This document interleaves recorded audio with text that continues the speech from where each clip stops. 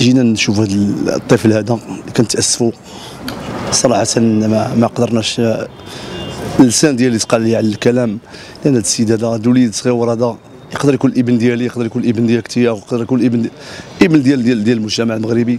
كيخرج من لونطريمون كيتلقى عليه واحد فاقد الشعور كيضربو بيديه كيضربو بسكين آه هو حارس مرمى وضربوا اليدين ولكن الأمر ديال الله سبحانه وتعالى وكنشعك أنا تأسفنا بزاف هذا السيد هذا وكنقول لنا من هذا المنبر هذا كنت التشكرات ديالنا الناس ديال الوداد.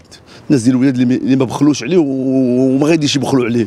والجماهير الودادية بصفة عامة.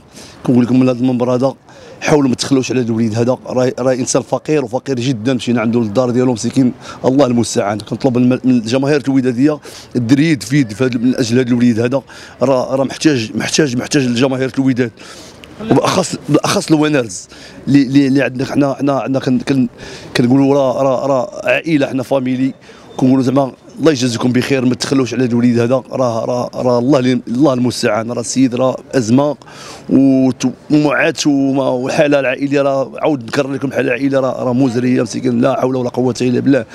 ومن هذا المباراة هذا كنقول الناس كتجي التشكرات ديال المكتب ديال الوداد اللي قاموا بالدور ديالهم حتى هما. وحنا عندنا يقين في سعيد الناصري ما غاديش يتخلى على هذا الوليد هذا. ما تنساوش تابوناو في لاشين يوتيوب وتفعلوا الجرس باش يوصلكم الجديد أيام 24 عيونكم التي لا تنام.